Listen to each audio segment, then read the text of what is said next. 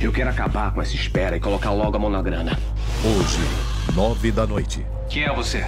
Eu sou o homem que tem o dossiê da Donatella com evidência contra o senhor. Por dinheiro, uma chantagem.